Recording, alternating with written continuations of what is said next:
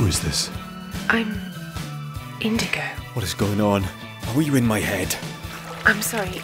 I'm not sure what's happening either. You didn't use your old implant to reboot mine, did you? You know they could track you now. It's all right for you. You're not even real. Not even real. You're just a ghost.